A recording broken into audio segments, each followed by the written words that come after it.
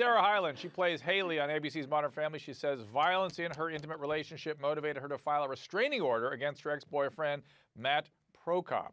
Now, in court, the documents, the court documents say Sarah alleges that he choked her during a fight. She says his quote, his grip was so tight that I could not breathe or speak. I was scared and in fear for my life. She also claims Prokop, quote, relentlessly bombarded me with vile, threatening, and emotionally disturbing texts and voicemails, including his own suicide threats. Representatives for Prokop, ha- Prokop have not responded to our request for comment.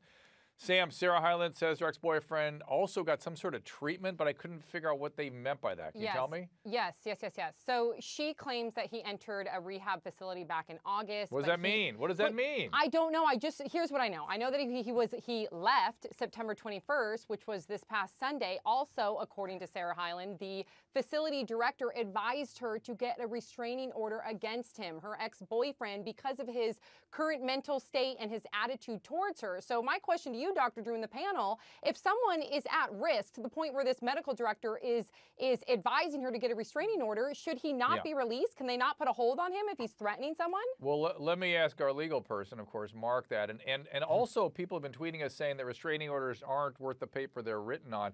And sometimes, it, I know it's the case, certain kinds of obsessive stalkers get worse when you file a restraining order.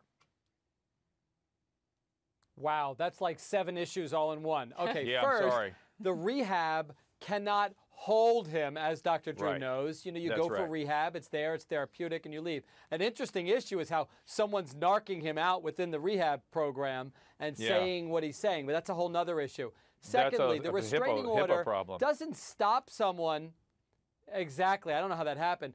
Uh, secondly, I, the restraining order doesn't stop someone from having contact, but if they do have contact, you don't have to wait until a crime occurs. Merely having any contact, telephonically, directly, indirectly, could immediately lead to his arrest. That's why they have the paper. And yes, some can get more angry as a result, most don't. Most realize, yeah. holy cow, they took the next step, now I need to back off.